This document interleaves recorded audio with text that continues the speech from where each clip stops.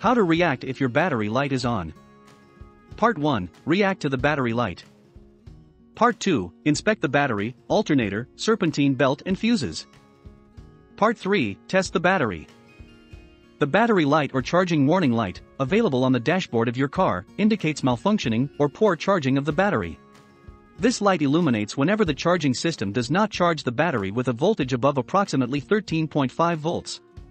As this warning may be triggered by several things, it is important to take steps to ensure that you know what the actual issue is before replacing any parts. The troubleshooting process can be fairly straightforward, but there are certain issues that only a professional should address.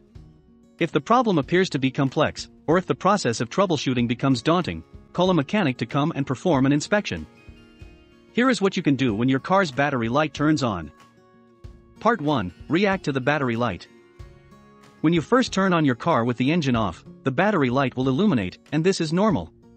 If the battery light comes on while the engine is running and the vehicle is being driven, this indicates a problem with the charging system. Step 1 Turn off everything that draws power. If the battery light is on, then there is still enough battery left to power the vehicle, but possibly not for very long. When this happens, first turn off anything that draws power from the battery, except for the headlights, if you are driving at night. This includes the air conditioning and heating system, the stereo, any interior lights, and any accessories such as heated seats or heated mirrors. Disconnect any phone or accessory chargers as well. Vehicle parked with ignition on. Step 2 Stop the car.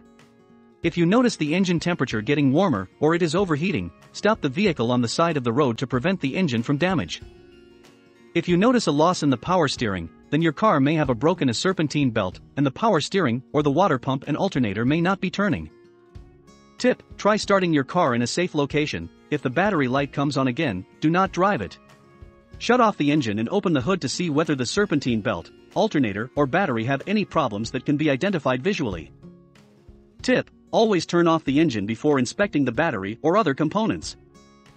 Part 2 Inspect the battery, alternator, serpentine belt, and fuses. Engine battery location. Step 1 Locate the battery, the fuse box, and the alternator. Locate the battery, the fuse box behind the battery, and the alternator at the front of the engine. In most vehicles, the battery is located under the hood. If the battery is not under the hood, then it is either located in the trunk or beneath the rear seats. Warning, always use safety glasses or goggles and gloves while working on or near a car's battery. Follow all safety precautions when handling batteries. Good battery versus bad battery reading. Step 2 Inspect the battery. Look for corrosion on the battery terminals and any damage to the battery. Warning If the battery is damaged or shows signs of leaking, it may need to be tested by a professional mechanic and replaced. Corroded battery terminal. Step 3 Remove corrosion from the battery terminals. If there is a lot of corrosion on the terminals, use an old toothbrush to scrub it and remove the corrosion. You can also dip the brush in water to clean the battery. Tip Mix 1 tablespoon of baking soda with 1 cup of very hot water. Dip an old toothbrush into the mixture and scrub the top of the battery and at the terminals where corrosion has accumulated. Excessive corrosion at the battery terminals can cause a low voltage condition which makes the starter turn slowly when trying to turn on your vehicle, but it will not illuminate the battery light if the alternator is charging properly once the car is started. Person inspecting terminals. Step 4 Secure the clamps onto the battery terminals. Once the terminals are cleaned, make sure that the clamps connecting the battery cables onto the terminals are secure. Tip If the clamps are loose, use a wrench or a pair of pliers, if available, to tighten the bolt on the side. Close up of cables and clamps. Step 5 Inspect the battery cables. Inspect the battery cables that deliver power from the battery to the vehicle. If these are in poor condition, the vehicle may be receiving insufficient power to start the vehicle properly. Step 6 Inspect the alternator belt and alternator for problems. The alternator is located on the front of the engine and is driven by a belt. Alternator belt replacement. On some vehicles, this belt is easy to spot. On others, it can be nearly impossible without removing engine covers or accessing them from underneath the vehicle. Tip, if the engine is horizontally mounted, the belt will be on either the right or left side of the engine bay. Inspect the electrical connections on the alternator to make sure they are secure and tight. Step 7 Check the condition of the serpentine belt. Verify that the serpentine belt is not missing or loose. Good versus bad belt. Look for any damage or fraying on the belt. If the alternator belt is damaged, it needs to be replaced by a qualified mechanic. Tip, if the belt is the culprit, it is likely that there would also be other symptoms like a squealing noise emanating from the engine. Step 8, check the fuses.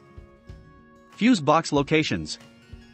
The fuse box will be located either under the hood or in the car's interior. If the fuse box is inside the car, it will be either on the ceiling of the glove compartment or located on the left side of the dashboard near the floor of the driver's side. Tip, some vehicles have fuse boxes inside the vehicle and under the hood. Check all the fuses in both boxes for any blown fuses. Step 9, replace any blown fuses. Some cars will have extra fuses in the fuse box for some of the smaller fuses. If any of the large fuses are blown, then the system may have a major short and should be checked and replaced by a certified mechanic. Part 3, test the battery. Step 1, start the engine. After all of these steps have been taken, the engine needs to be started up again to see if the charging warning light is still on. If the light goes out after starting the engine, check the charging system for any other problems. If none of the steps taken do anything to fix the problem, then the problem is probably due to a malfunctioning alternator. This is something that needs to be tested and repaired by a professional. Call in a certified mechanic, like one from YourMechanic, to inspect and repair the battery and alternator systems.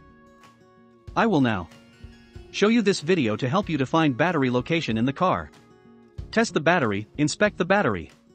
Look for corrosion on the battery terminals and any damage to the battery. Remove corrosion from the battery terminals, inspecting terminals and cables and clamps, check the fuses, and replace the old battery with the new one, without lose the power,